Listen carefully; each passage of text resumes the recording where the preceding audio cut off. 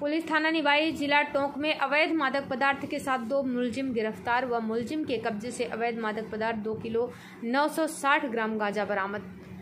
Tonk police अधीक्षक राजर्षि राज वर्मा द्वारा प्रदत्त निर्देशों की पालना में थाना निवाई क्षेत्र में अपराधियों की धरपकड़ एवं थाना इलाके में अवैध मादक पदार्थ रखने वालों पर निगरानी रखकर धरपकड़ अभियान के क्रम में अतिरिक्त पुलिस अधीक्षक गीता चौधरी व संदीप सारस्वत, वृत्ताधिकारी वृत्त निवाई के पर्यवेक्षण में छोटे लाल पुलिस निरीक्षक, थानाधिकारी, थाना निवाई के नेतृत्व में गठित विशेष टीम द्वारा कार्यवाही करते हुए दिनांक इक्कीस से दो को पुलिस थाना निवाई जिला टोंक कस्बा निवाई गश्त के दौरान अवैध मादक पदार्थ के साथ दो मुलजिमानों को गिरफ़्तार कर मुलजिमान के कब्जे से अवैध मादक पदार्थ दो किलो 960 ग्राम गांजा बरामद किया गया। प्राप्त जानकारी के अनुसार दिनांक 21 से 2023 को मन थानाधिकारी छोटेलाल पुलिस निरीक्षक मेजाब्ता गश्त के दौरान दशहरा मैदान टोक रोड कस्बा निवाई पर दो संदिग्ध व्यक्तियों जिनके पास मौजूद बैगों में रखे हुए सामान पर संदेह होने पर मन एसएचओ ने हमराही जाप्ते की मदद से घेरा देकर उक्त दोनों व्यक्तियों को बैग सहित डिटेन किया। व नाम पता तो एक ने अपना नाम दीनदयाल स्वामी पुत्र छीतरदास स्वामी जाति दादूपंथी स्वामी उम्र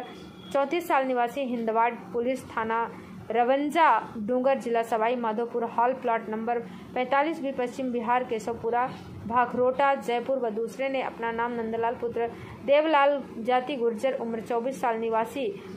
छाणवास सूर्या पुलिस थाना, टोडा राय सिंह जिला टोंक हाल मालियों की ढाणी मकान नंबर संतावन अंठावन, मदारपुरा पुलिस थाना मुहाना मंडी, जयपुर शहर होना बताया।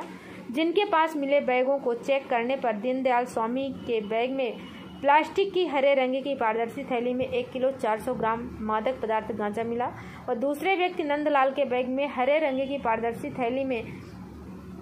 एक किलो 560 ग्राम मादक पदार्थ गांजा मिला। जिनके पास मिले मादक पदार्थ रखने का लाइसेंस नहीं होना पाया गया, जिस पर उक्त दोनों व्यक्तियों के पास मिले अवैध मादक पदार्थ गांजा दो किलो 960 ग्राम को नियमानुसार अंतर्गत धारा आठ बीस एनडीपीएस एक्ट में मुकदमा दर्ज कर अनुसंधान जारी है। टोंक से हमारे संवाददाता सुभाष चौदा की रिपोर्ट।